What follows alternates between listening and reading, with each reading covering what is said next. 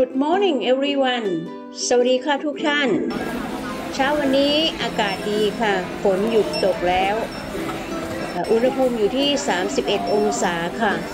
ที่อำเภอที่ตำบลออนใต้ อันนี้คือเหตุการณ์เมื่อวานค่ะ ตอน 11 นาฬิกาลุงจรและสุภลักษณ์ออกจากบ้าน ไปซื้อของกินของใช้เข้าบ้านค่ะ we went uh, shopping at Macro grocery shopping ก็ของกินของใช้นี่ก็ใช้อยู่ประมาณหนึ่งหนึ่งเดือนนะคะหนึ่งเดือนก็ไปซื้อครั้งหนึ่ง ก็ทั้งหมดนั้นก็ 4,000 บาทขนาดในตะกร้านะคะ เมื่อเช้านี้อากาศดีสุภลักษณ์ก็เลยไปจุดไฟ เผาไอตอมะม่วงสีดำนะคะ เกือบจะหมดแล้วค่ะ อันนั้นคือสัญญาณของอรถ ATV ค่ะ รีโมท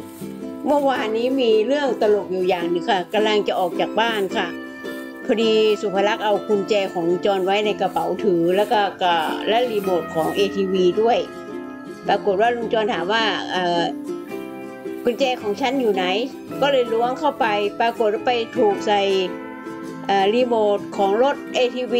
รถ ATV จอดอยู่ที่โรงรถ มันก็สตาร์ทขึ้นมาโดยอัตโนมัติ ซึ่งไม่เคยเจอค่ะ ก็เลยนึกว่ามันเป็นเหตุการณ์ที่ประหลาด ก็เลยโทรถึงคุณพานุว่ามันเกิดอะไรขึ้น ที่ไหนได้ตัวเราเองเป็นผู้ทำไว้วางแผนวางยาตัวเองไว้ค่ะ เพิ่งมาเจอความจริงว่ารีโมทไปแตะรีโมทมันก็เลยไปสตาร์ทรถ ATV ซึ่งจอดไว้อยู่ที่โรงรถค่ะ ก็เลยกลายเป็นเรื่องตลก ตอนแรกสุภลักษณ์นึกว่า ถ้าเป็นตอนกลางคืนนี่คงจะนึกว่าเป็นผีหลอก ลุงจอนบอกว่าเธอนั่นแหละคือผี ก็เลยเป็นเรื่องตลกเป็นเรื่องขบขันคุยกันค่ะ กับไปรีโมทรถ ATV ตอนนี้เลยไม่เอาไว้ในกระเป๋าถือแล้วค่ะ เอาไปแขวนไว้อยู่ที่ใดที่หนึ่งค่ะ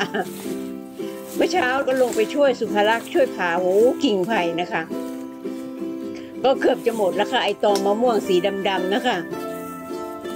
หลายเดือนแล้วค่ะ พยายามเอาออกทีละนิดละนิด เกือบจะประสบความสำเร็จแล้วค่ะ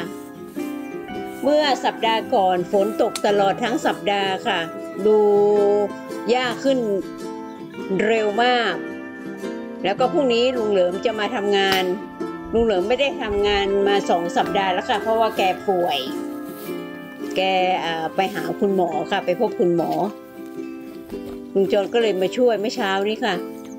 ก็ตามภาษาของผู้สูงอายุนะคะ ก็ทำตามที่กำลังมีอะค่ะ ก็โชคดีที่ยังมีลุงเหลิมมาช่วยอีกแรงหนึ่งก็ทำไป ออกกำลังกายไปนะคะ ก็ฝากคลิปของสุภาลักษณ์และลุงจรให้กับทุกท่านได้ชมค่ะ เพื่อเพลิดเพลินในแต่ละวันค่ะ ขอให้ทุกท่านมีความสุข สุขกายสุขใจและปลอดภัยปลอดโรคค่ะ อายุยืนยาวค่ะ ขอให้คุณพระคุ้มครองรักษาค่ะ